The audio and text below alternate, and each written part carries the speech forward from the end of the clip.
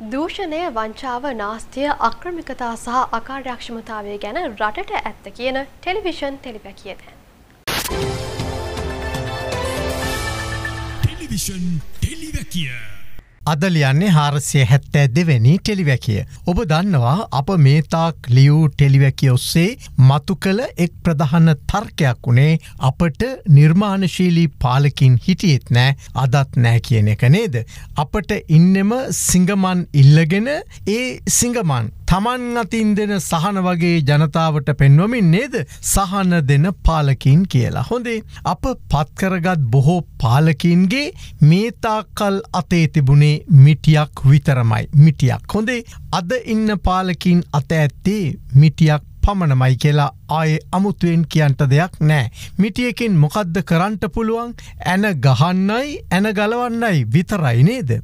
ඕනෙ නම් ඉතින් ඔය ඉඳල හිටලා ඇගිලි තලන්න ඔලු පලන්නත් පුළුවන්නේද ඔය සමහර වෙලාවට හෙමේවා ඇහෙනවනේ. මේ මිටියක් විතරක් අත ඇති පාලකින්ට සියල්ලු ප්‍රශ්න පේන්නේ ඇන වගේ. ඔවු ඇන වගේ. ඒ නිසා එදා ඉඳලා මේ දේශපාලන නඩය කළේ කුමක්ද? රට ආර්ථිකව ගොඩගන්නවා නේද? ඕන් අපි සංවර්ධිත රාජ්‍යයක් හදනවා කියලා අංක එකට මොකද කළේ? පුළුවන් තරම් බදු ගැහ්වා. අදත් ගහනවා.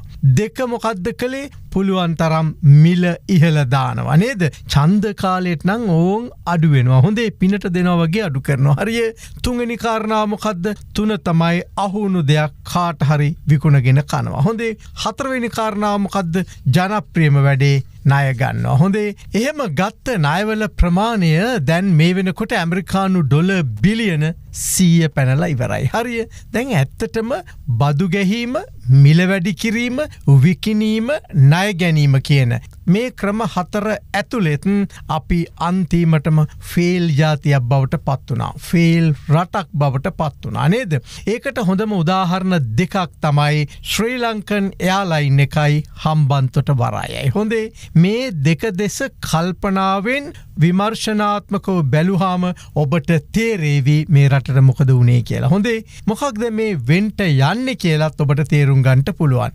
කවුද වග කියන්ට ඕනෙ කියලත් තේරුම් ගත හැකි. හොඳේ මුලින්ම අද ටෙලිවැකෙන් හම්බන්තොට වරාය අරගෙන බලමු.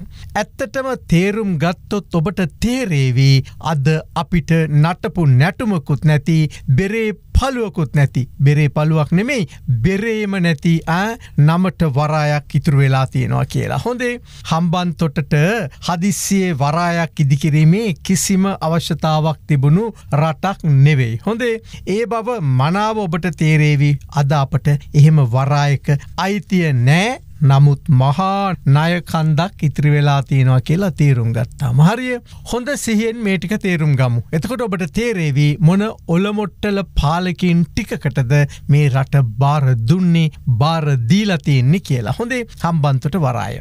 දකුණු ආසියාවේ ගොඩබිමක් ඇතුළේ ඉදි කළ විශාලම එක. හොඳේ වරාය අක්කර ප්‍රමාණය අක්කර හාර දහක් පමණ වෙනවා. වරාය ආශ්‍රිතව තවත් අක්කර දෙදහක් නිදහස් වෙල්ද කලාපයක් හද හදන්ට වෙන් කරලත් තිබුණ හොඳේ දැන් මේ වරාය හදන්ට චීනෙන් ණයගත්ත විදිහ බලමු. පළමු අධිරයට ඩොලර් මිලියන ආරසිය පණහයි. තෙල්ටැන්කි සංකීර්ණය හදන්න ඩොලර් මිලියන හැත්තෑවයි.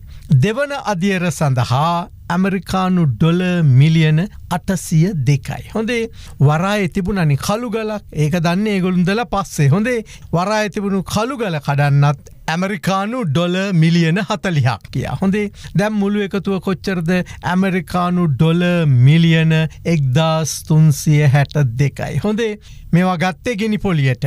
මීට අමතරව විවෘත කිරීමේ සැනකෙලියක් එහෙම තිබ්බ. මතකෙයි රුපියල් කෝටි විස්සක් විතර ආණ්ඩුව ආං ඒකටත් වේදම් කරලා තිබුණ. හොඳේ දැම් මේ සියල්ලම රාජපක්ෂ රෙජිමේ දෙතුන් දෙනෙකු පිනවීම සඳහා දෙතුන් දෙනෙකුගේ සිත ගත පිනවීම සඳහා තමයි සිදු කළේ. හොඳේ ඉළඟට මොකද වුණේ ඉළඟට රට භාරගත්තේ රනිල් මෛත්‍රී යහපාලන ආණ්ඩුව. මේ හම්බන්තොට වරාය සුදුවලියෙක් ගත්ත නය ගෙවන එක හීනයක් වගේ එන නැවකුත් නෑ. එහෙන් කළු ගලක් නේද?